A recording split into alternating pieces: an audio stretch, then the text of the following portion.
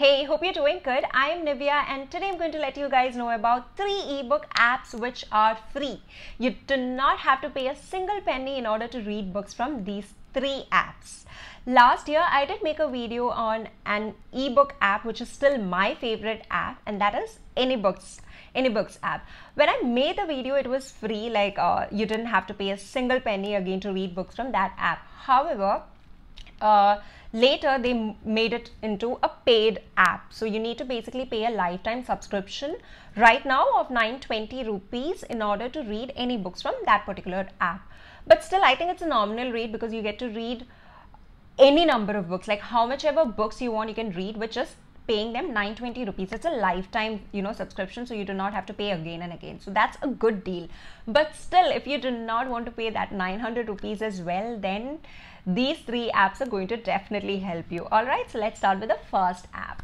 The first app which I would like to recommend to you guys is a books library, which is an amazing app with a great collection of books. It has a lot, a lot of books all for free. And if in case you do not find the relevant book, the particular book which you wanted to read, you can contact them just message them anytime and then they generally revert in 24 hours and then they try their level best to bring that book for you. Considering it's a free app and still they're doing so much it's just so amazing. So let me show you how exactly this app looks like and then we'll go to the second app okay? So here it is so this is how the books library looks like. As you can see the icon here. So let me click on it. And you can see the category available. Like for example if I click on the category it will show you the categories available. Here's if I want to see books related to history.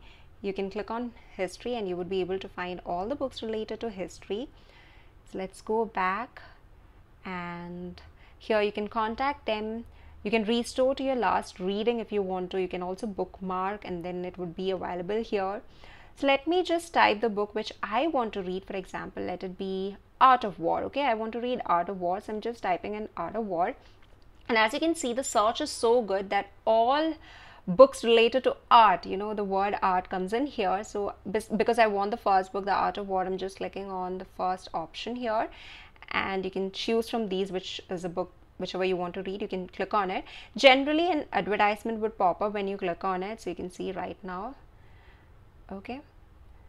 Here it is the first ad comes. So you can just close it if you're not interested in the ad.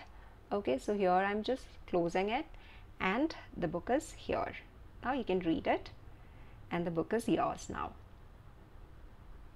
The second app which I would like to recommend to you guys is a free books app this app's user interface is very much similar to that of Kindle or AnyBooks. So if in case you have used AnyBooks or Kindle, you would know how good the user interface is, right?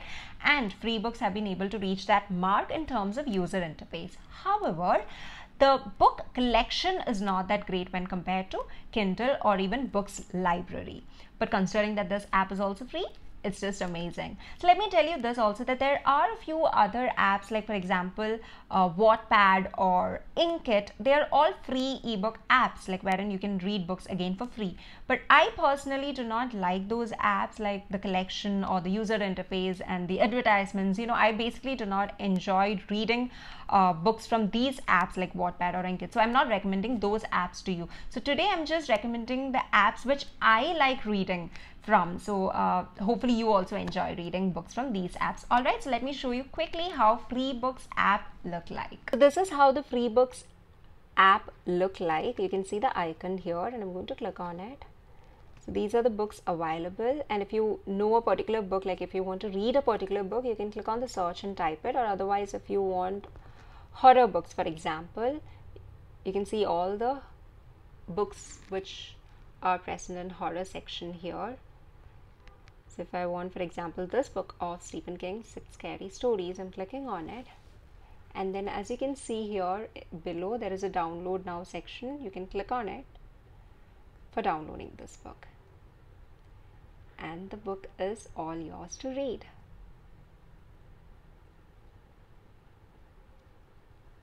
It's that simple. The third and the last app which I would like to recommend to you guys is the English Stories app. This app is quite different from the first two apps because this is exclusively designed for children. So it's beneficial for the parents also who want to read out stories to their children. It has a lot of short stories and children's specific books.